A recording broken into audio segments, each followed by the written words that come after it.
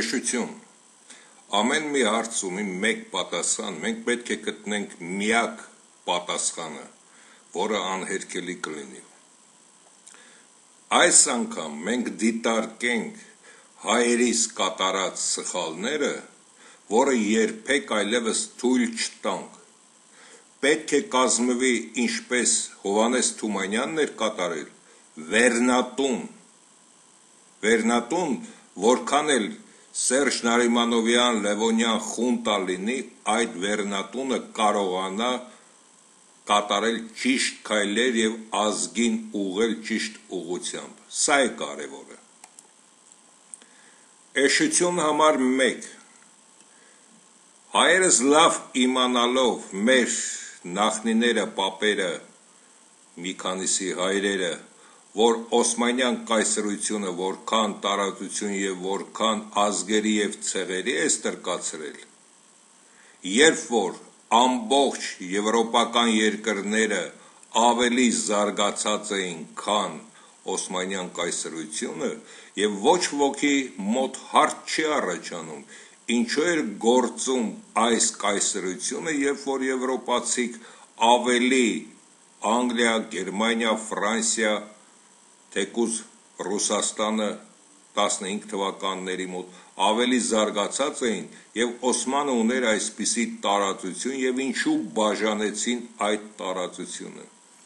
մեր նախնիները պետք է այդ հարցի պատասխանը գտնեին եւ համախմբեին հայերին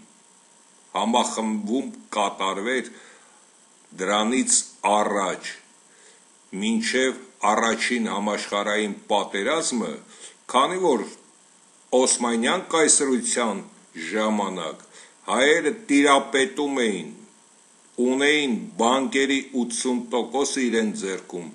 ամենից մեծ արդյունաբերությունը եւ դրա համար պետք է լուր մնային, Օսմանին ցույց տային, որ օգնում են։ Գնային Օսմանի կամքով իբր օգնում են հետագայում Օսմանյան կայսրությունից ինչ կմնար, այդ ժամանակ միայն մեծ գումարները վերցնելով եւ այդ գործարանները հայերի ձեռքին, նույնիսկ հայ երիտասարդների սուննաթելով եւ անուն ազգանունը փոխելով, դարձնելով Օսման, դարձնելով թուրք, կառավարության վերին օղակներում նրանց տեղավորել եւ այսօր ամբողջ Թուրքիան կլիներ հայերի ձեռքում, թուրքերը կլինեին հայերի ստրուկները, որը չկատարվեց։ Այսինքն էմոցիաներին պետք է զոհ չտրվի։ Ստամբուլի մեծ մասը գտնվում էր հայերի ձեռքում։ Նույնիսկ այսօր հայ միլիարդատերեր կան այնտեղ ծպտյալ։ Ահա թե ինչպես պետք է կատարվեր այդ բոլորը, որը չկատարվեց հայի, ինչպես ասում են, բռնկվելու ունակության պատճառով։ Եվ ամենից կարևորը կրթությունն է, ճիշտ կրթությունը, թե ինչպես վարվել ցանկացած դեպքում։ Դրա համար երեխաներին փոքր հասակում պետք է տրվի տարբեր խաղեր, տարբեր միջոցներ, որբիսի նրանք գտնեն ճիշտ պատասխանը, հետագայում իրենց կյանքը եւ հայրենիքի կյանքը ապահովելու համար կարողանան գտնել լավագույն տարբերակը եւ 100 տարի սпасելով ոչ թե կոտորվելով այսօր ամբողջ Թուրքիան կլիներ հայերի ձեռքում Երկրորդ տեսությունը. Գորբաչովը, ինչպես գիտենք, լինելով անգլիական լրտես, Գորբաչովը սովետական միությունը քանդում էր դեռ իր գյուղատնտեսության նախարար եղած ժամանակ։ Սովետական միությունը առաջին անհրաժեշտության ատամի փոշիներ եւ օճառ գնում էր արտասահմանից, քանի որ նա նույնիսկ դա էր քայքայել։ Մարդիկ ժամերով հերթ էին կանգնում 1 կիլոգրամ միս գնելու համար եւ այլն։ Ահա այս սրիկան եւ երբ որ արտասանեց դեմոկրատիա բառը, այս ոչխարին Ստեփանակերտում միանգամից պետք է դրվեր եւ մատաղի ուլի նման մատաղ արվեր։ Ինչի համար։ Քանի որ եւ այս սրիկան աննասունը նույնպես չմիշնորթեց, որ ասեր Արցախի ժողովրդին մարդ ուղարկիր, ձայներդ կտրեք սուսուփուց նստեք, երբ որ ժամանակը գա, մենք կասենք։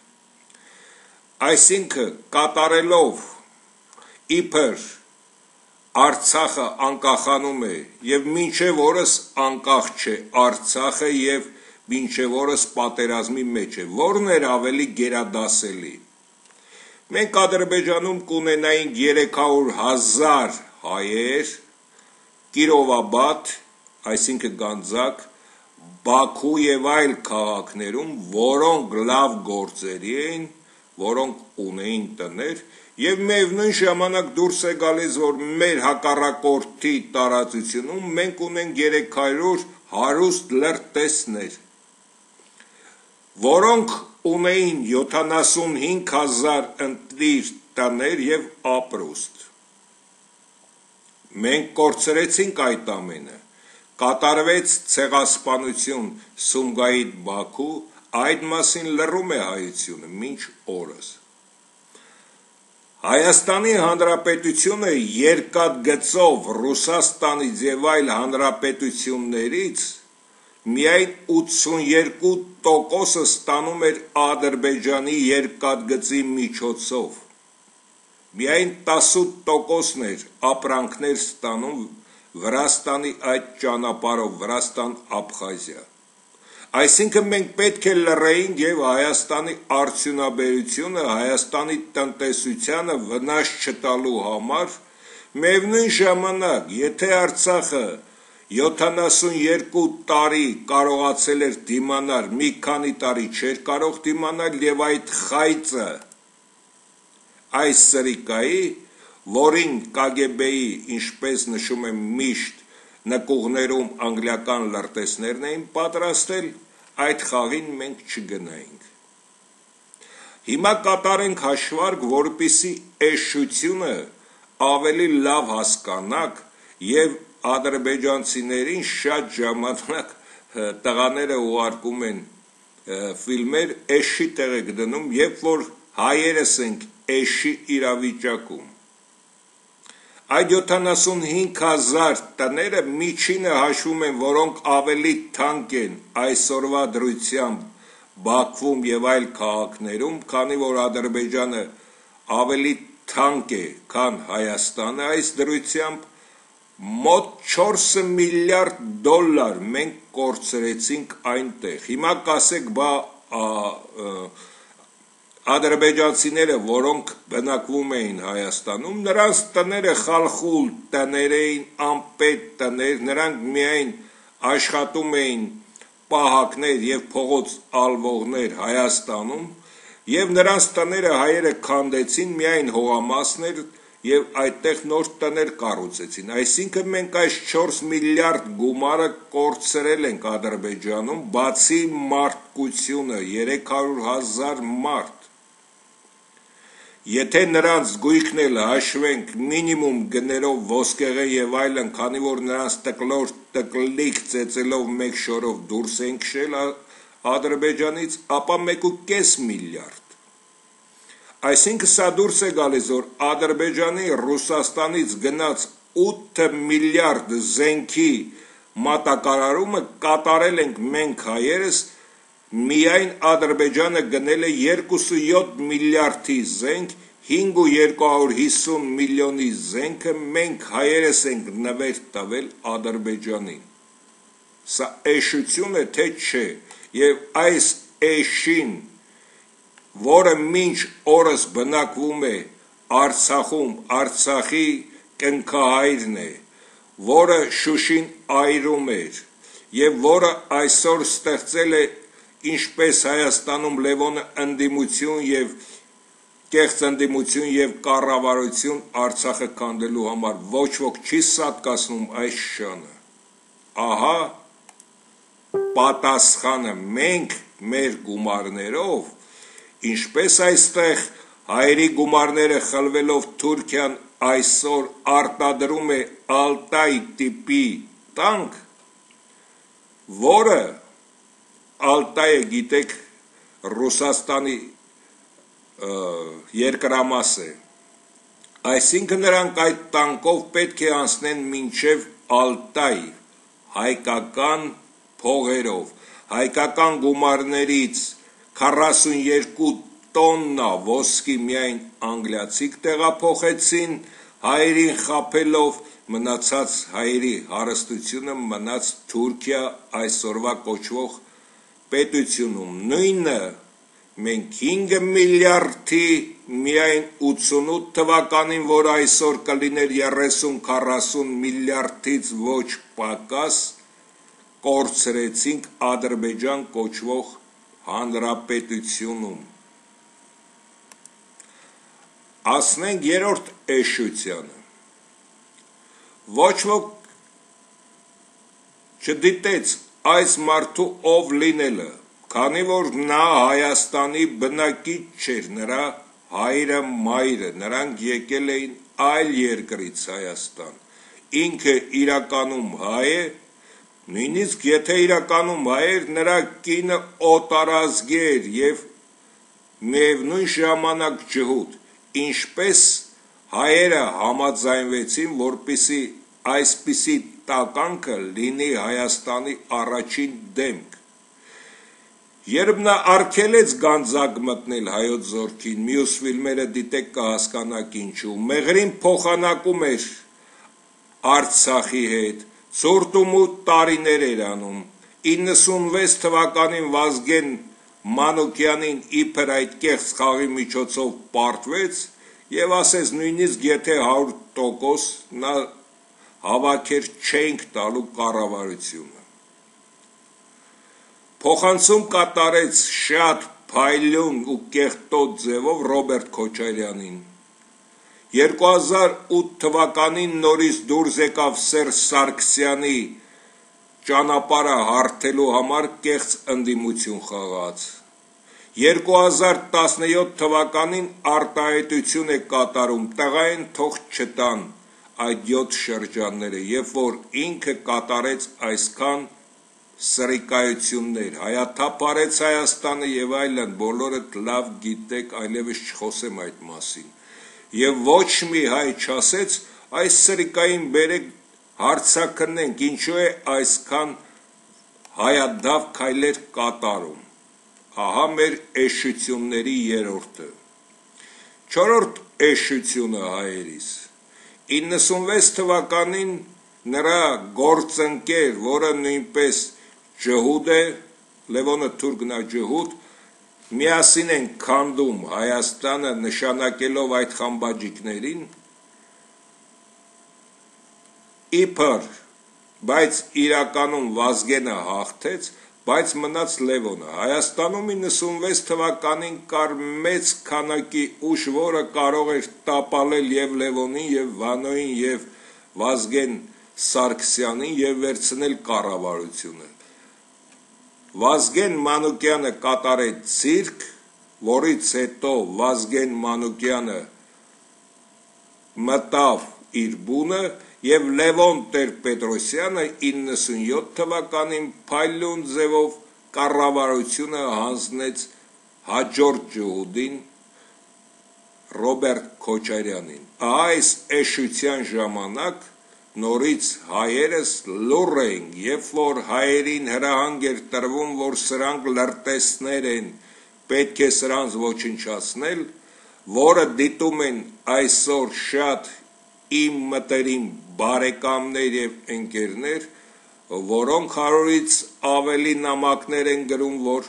էշություն են կատարել։ Ճիշտ է։ Նույնը 88 թվականից հետո, երբ որ ասեցի սրանց պետք է ոչնչացվեն, դրվեն կոմունիստական այն ազնիվ աշխատողները Հայաստանի գլուխ հետագայում կատարվի փոխանցում հայերին, հայերը դա չհասկացան, եւ երբ ֆիլմ թողարկեցի, թողեցի, ձայնագրություն թողեցի, ասեցի հանձնեք եւ տարածեք այս ամենը Հայաստանից իմ հեռանալուց հետո կատարեք սրա ոչնչացումը բոլորը լռեցին հետագայում իմացա այդ ձայնագրությունը վառել են որը մոտ ժամանակներս մոտ 2 տարի է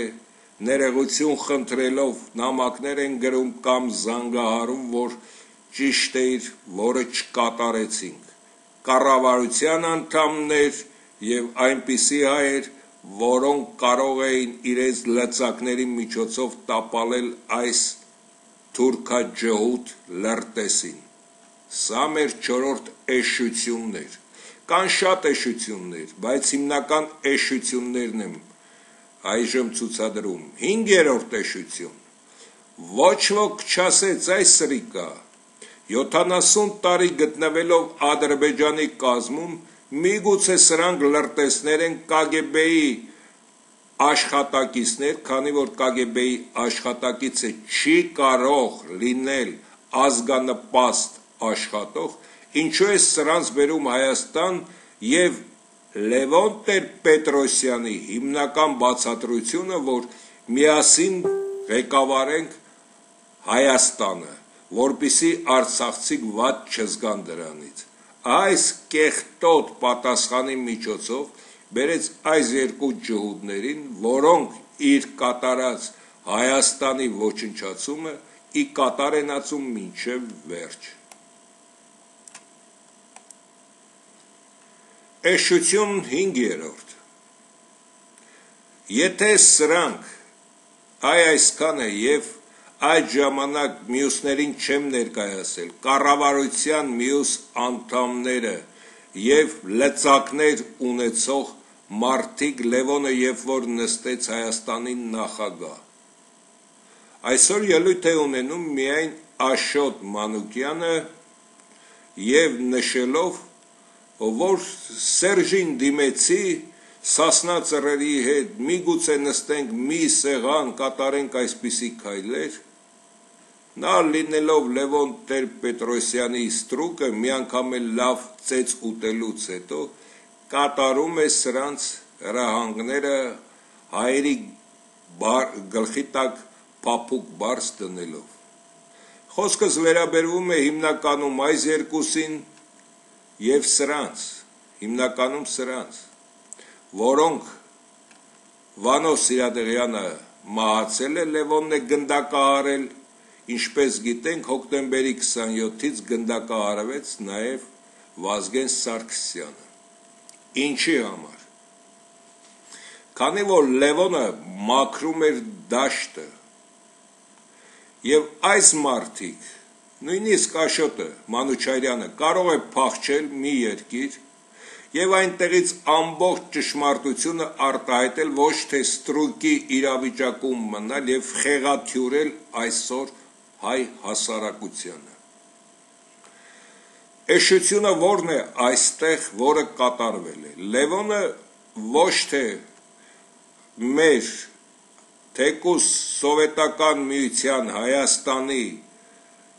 կանոնադրության վրա էր ձեռքը դնում կամ հայկական աստվածաշնչի ինչ գործ ունի Հայաստանի առաջին դեմքը Հերեաստանի Սուրբ գրքի հետ որ ձեռքը դնում է այդտեղ եւ այս բոլոր ախմախներին եմ ասում. Ինչու այդ ժամանակ չկախվեց այդ ամենը երբ որ Ադրբեջանից բերում էր 70 տարի ստրկության մեջ գտնվող Արցախից այս երկու սրիկաներին, ինչու չի քննարկվել նրանց ով լինելը, ինչու չի քննարկվել նաև այն հարցը, որ Հայաստանի KGB-ի ցուցակները պետք է մնան Հայաստանում, չպետք է ուղարկվի Մոսկվա։ Եվ այլն, եւ Լևոնի կատարած քայլերի ժամանակ մեղրին էր վաճառում, խոսում է Աշոտ Մանուչարյանը, Բլեյանը եւ այլն, եւ այդ ժամանակ ինչու եք լուր եւ այսօր եք այդ մասին խոսում։ Եվ էշությունը նա էր, որ սրանք այս ամենը թույլ տվեցին հատկապես այս ոչխարը, որը հայ կիլլերների ղեկավարն է հանդիսանում մանվելներ եւ այլն, որոնք Մոնթե եւ այլ հայ հերոսներին գնդակահարեցին Լևոնի համար փայլուն ճանապարհ ապահովելու համար, վերջում Լևոնը պետք է ոչնչացներ սրանց։ Եթե սա, սա եւ մնացածը լուրջ չմնան, սրանց էլ կոչնչացնի կամ սրանք պետք է փախչեն, քանի որ Վանոն մահացած է եւ արտասահմանի ճշմարտությունը խոսեն,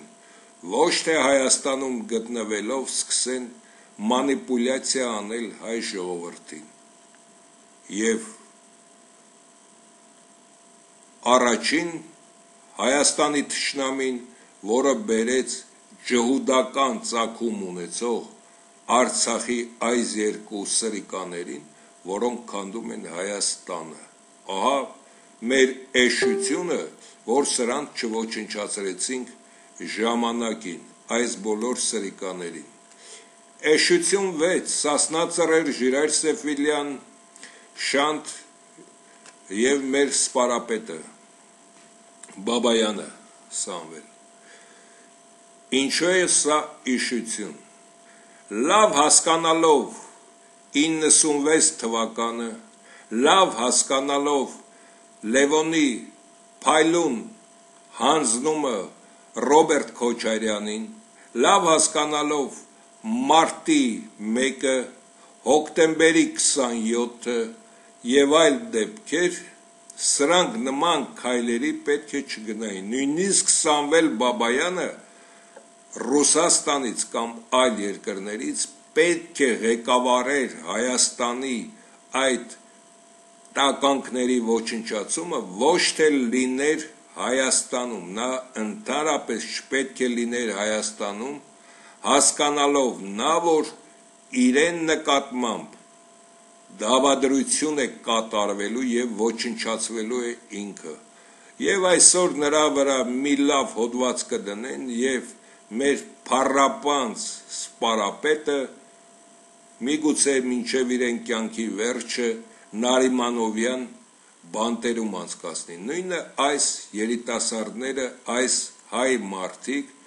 որ պետք է կատարվեր պարտիզանական տիպի պայքար նրանց դեմ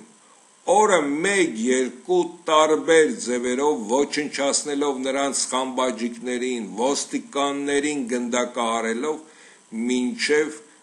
մնացածը հասկանային, որ հայ ժողովրդի դեմ չպետք է խաղալ։ Իսկ գնալով ՊՊՑ գունդ հանձնվելով նրանք դարձան մահապարտ։ Նրանք ճիշտ քայլ կատարեցին ամբողջ հայության աչքերը բացեցին, որ Հայաստանում կատարվում է լրտեսություն եւ ազգադավություն։ Եվ այսօր նրանց խոշտանգում են եւ մենք լուր ենք, հայերս լուր ենք։ Ինչի համար։ Քանի որ ամեն մեկը քշում է իրեն դիվանը, բոլորը դիվանագետներ են։ Եվ հետույքների վրա ունեն մազոլներ, ինչպես ունեն կապիկները, այսինքն կապկի իրավիճակում են գտնվում հայ ժողովուրդը։ Եվ այսօր ոչ ոք չի կանգնում պարս հայ մտավորականություն եք ասում, այդ կեղտոտ բառը չեմ սիրում, հայ խելացի մարդիկ, ովքեր ավտարիցետ են իբր Հայաստանում, չեք հավաքվում նույնը այստեղի այս մարդը եւ ասել օպերայի դալիճում պետք է կատարվի այս բոլոր մարդկանց դատավարությունը եւ ոչ թե պետք է կատարվի նրանց նկատմամբ դատավարություն, այլ պարզվի, որ Հայաստանում ինչ պետք է կատարվել, չի կատարվել եւ ինչու չի կատարվել։ Դե թող այս մարդիկ ապացուցեն, որ ինչու են իրեն գնացել այս քայլին ինչու է այս մարդը գտնվում բերդում եւ ինչ է այս մարդու ասածը կամ Շանթի կամ Սամվել Բաբայանի, որի ասածները ես բոլորն էլ նշել եմ, այսինքն մենք հայերս պարտավոր ենք, որպիսի այդպիսի մեծ դալիճում առանց շուխուրի կեցե Սաստածռերը, կեցե Սերժիկը եւ այլն, Կորչի Սերժիկը լուրումուշ պետք է նստվի այդ դալիճում եւ հերթով հարցվի. Սամվել Բաբայան, ինչից ես դժգոհ Հայաստանից։ Եվ Սամվել Բաբայանի պատասխանը, որը կհնչի փակ դռմպակ միայն հայ խելացի մարդկանց համար, բոլորին կդնի սարսուռի մեջ, եթե Սամվել Բաբայանը արտահայտի իր բոլոր մտքերը, թե ինչ իրավիճակում է գտնվում ծայրաստիճան արդեն ցեղասպանության վերջնակետին հայ ժողովուրդը։ Այդ ժամանակ բոլոր սերժական մանկլավիկներն ու ոստիկանները կհասկանան նույնը շանթը կխոսի նույնը կխոսի Ժիրայրը եւ իր սասնա ծռերը, որոնք կապացուցեն, որ ապրիլյան պատերազմը դա Սարկովի պատերազմ էր եւ Ժիրայրը գնում էր ազատագրելու այդ 800 հեկտարը, որպիսի 37 հայ զինվոր ապրիլյան դեպքերից հետո չմահանային, որը Սերժիկ Նարիմանովը թույլ չտվեց այն պատճառով, քանի որ Ժիրայր Սեֆիլյանի զորքը կարող էր այդ 800 հեկտարը մի քանի օրում գրավել եւ հետ վերադառնալ ոչնչացնելու կեղծ կառավարությունը եւ մենք հայերիս 6-րդ էշությունը կայանում է նրանում որ ամբողջ 10 միլիոն հայերի պետք է գրվի մի գրություն որը պետք է ուղարկվի արտասահմանյան բոլոր երկրները եւ դեսպանատները եւ մենք հայ մտավորականությունս այդ բառը կամ հայ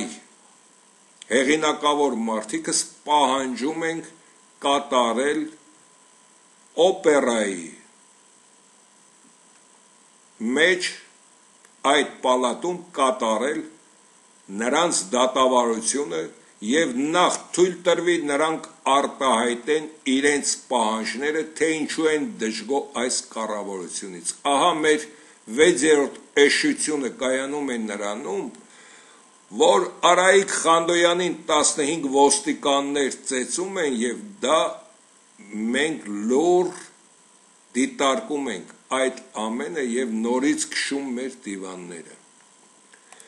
Եվ 7-րդ էշությունը կան բազմաթիվ էշություններ, որի մասին չեմ խոսում, ինչը